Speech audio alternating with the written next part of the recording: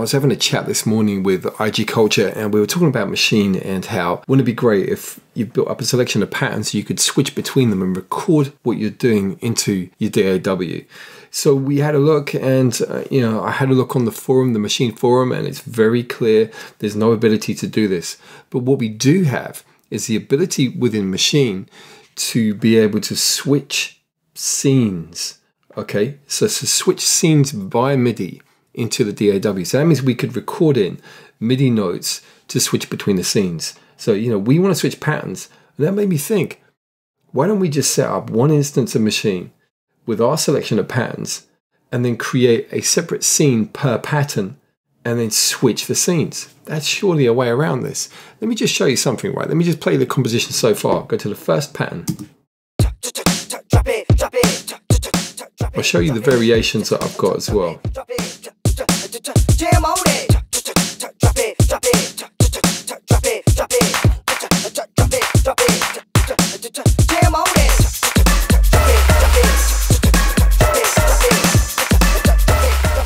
So you just be jamming away, flipping between them, just getting a vibe, seeing what works. I've got a little fill on this pad here.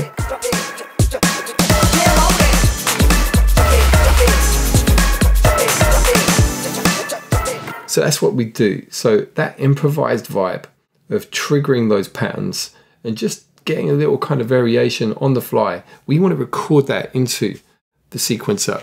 So what I'm going to do is I'm going to show you, I'm going to get up the instance of Maschine here and I'm um, just going to drag it onto the right monitor.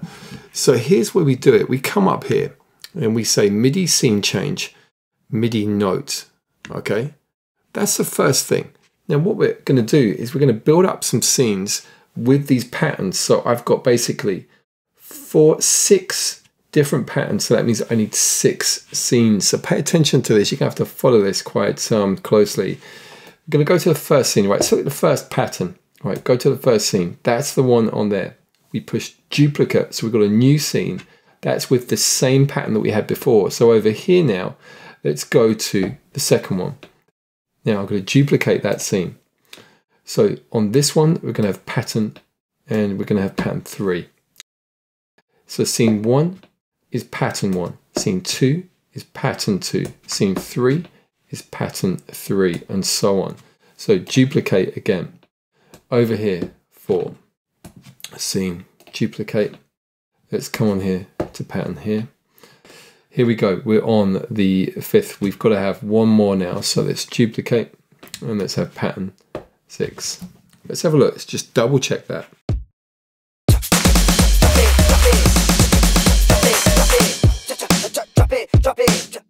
So we're going to go through these patterns.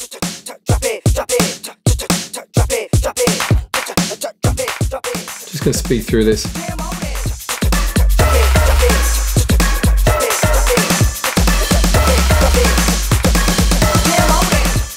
So we want to replicate that with the scenes now. Let me just lock the scenes in place. So that's that button up here. Scene one is going to be pattern one. Let's listen.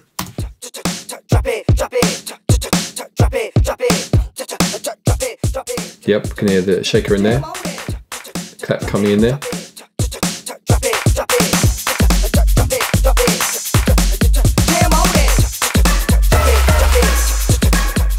Fill.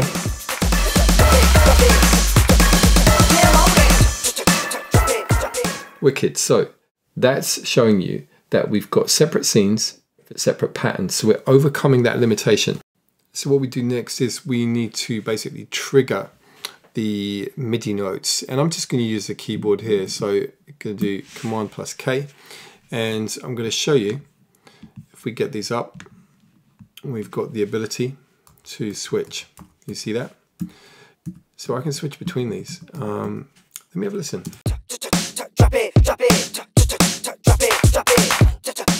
Yeah, do you know what? I'm just going to record something in so you can see this happening. All right, so let's just push record here.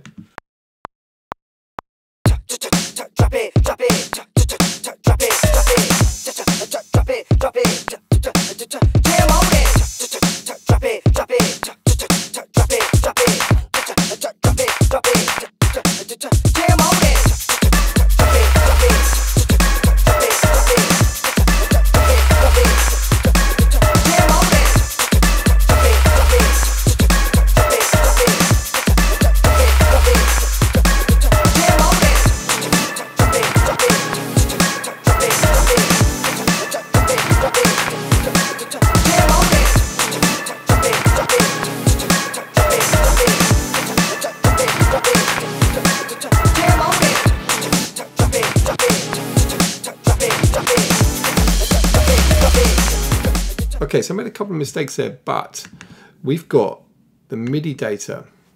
Let's take away that keyboard. The MIDI data here is what's being used to trigger those patterns. All right, so let's have a listen again.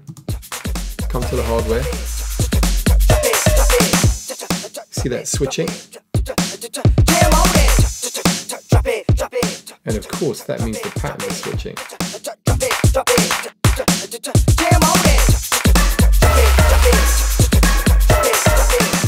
So there you go. That's it. It's a workaround. You can do pattern switching and record that in as MIDI data. You've just got to use scenes. So it makes sense to have a separate instance of Maschine for your beats. And then if you want to get busy with other stuff, another instance.